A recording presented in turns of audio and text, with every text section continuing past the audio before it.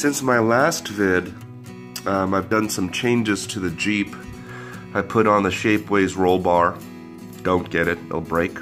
Put some stickers on it, those are pretty cool. Got the metal fenders and they add that real nice touch of realism um, as you're scraping along. I am beating the ever-loving heck out of this shell, which is a lot of fun. It's the point of it. Um, but uh, really, the reason why I'm making this video is someone requested a uh, more detailed close-up of the uh, front suspension of the R1 portal axles with the uh, panhard bar. So that's kind of what you saw before. Let me go ahead and take a shell off.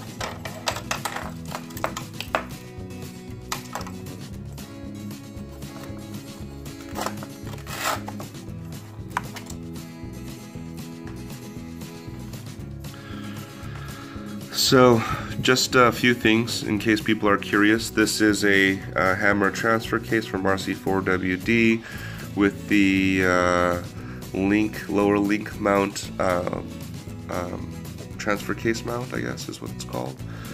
Uh, and then, of course, I'm laying down the shocks, droop style setup, uh, setup so that I can maximize articulation. Um, heavily uh, gear reduced transmission, I think it's like 16 to 1 on an actual rebuildable 55 turn motor. Um, so really, uh, it's kind of hard to see, but let me bring it up, is there's the uh, panhard bar, and no, I've actually bent it so that actually sits perfectly on the uh, diff housing.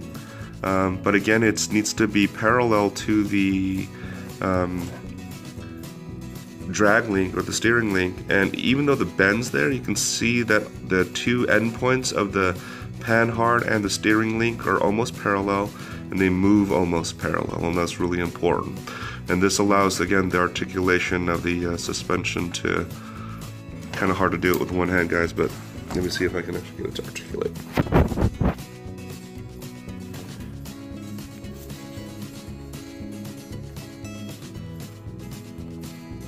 So there you see it. Tuck up. Then on this side when it goes this way you see it drop down. So that, that's basically how it works. Um, I actually was planning on making this uh, rig a four-wheel steer. So I actually have the rear suspension set up with a three link and a panhard as well. Um, because then I could just add the servo and the steering components so you can basically see it's the same cheap axial um, panhard bar kit from eBay, and it basically just you can use a little piece of angled aluminum to be honest with you from Home Depot, and then uh, the bar goes here, and then I shim this up, and then just get a bar to length. And again, when you look down at it, you just want to make sure that it's pretty even, and that's how you kind of gauge whether it's um, going to be equal in the front and equal in the back or not. So again, if you have any questions, let me know, guys, and hopefully that explains how this truck works. Thanks. Hit that subscribe button.